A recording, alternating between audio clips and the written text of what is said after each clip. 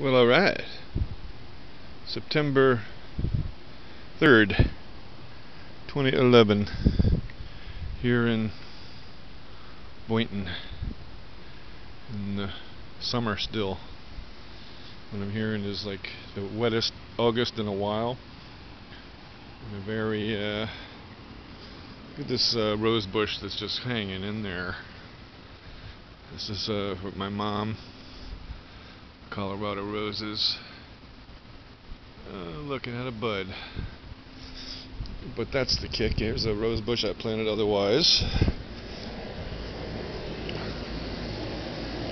Got the AC cranked up.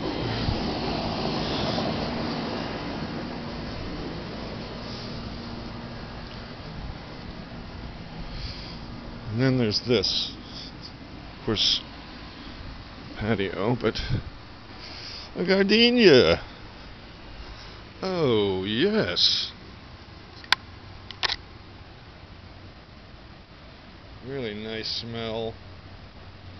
This thing is kind of cranked in uh, the last couple of years. Very nice smell. Two buds. Alright. Alright. I think I'm going to move it from there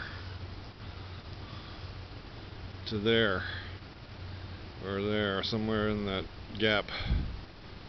And then it'll be uh, less bit more viewable. Otherwise yeah Boynton Beach Firebase Boynton checking in signing off. Oh what a life